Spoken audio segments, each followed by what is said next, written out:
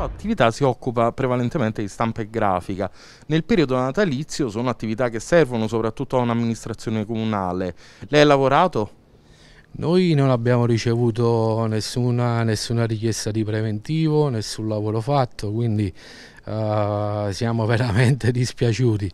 Fortunatamente uh, lavoriamo con scuole diciamo, locali, enti locali, ma non abbiamo ricevuto una sola richiesta di preventivo, zero. Eppure comunque abbiamo visto manifesti fatti, volantini fatti e questa è una cosa che ci rimane, cioè rimaniamo proprio delusi, delusissimi da questa amministrazione che pensa solo ai comodi loro. Da quanto lavora sul territorio di del Greco? Noi siamo un'azienda che da, dal 94 uh, esercita la, diciamo, la, propria attività, quindi eh, sembra strano che non, che non abbiamo ricevuto nemmeno una richiesta oppure un'email dicendo tu Maurizio Serigraf puoi fare un manifesto, quanto ci costa fare un manifesto, che prezzi hai, invece zero, sono, sono scomparsi. Dubbi ai quali Maurizio non riesce a trovare una risposta, così come tante altre attività attive da anni sul territorio di Torre del Greco, che si accodano al suo appello.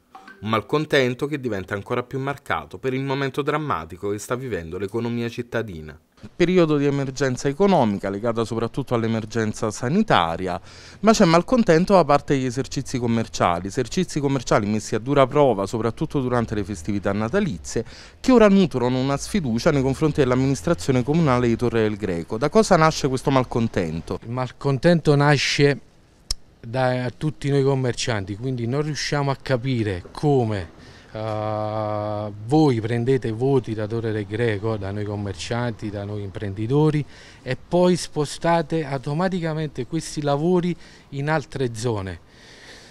Cioè siamo stanchi, siamo stufi, sono anni e anni che vi nascondete dietro a queste associazioni fasulle per far scomparire quel poco che a noi, a noi diciamo servirebbe, perché noi comunque, io sono un'azienda che fortunatamente cioè, riesce a mantenere alcune famiglie cioè, del territorio, ma perché fare questi movimenti strani, far sparire delle cose, delle, dei, cioè, delle, dei lavori che a noi cioè, potrebbero veramente servire, quel poco per dar da mangiare veramente a queste famiglie e fare sempre questi giochetti. Quando poi serviranno eh, voti e, e, e quant'altro, inizieranno a bussarci di nuovo e noi ci dobbiamo far sentire perché non è possibile rimanere fermi a guardare queste persone che fanno sempre il loro lurido gioco.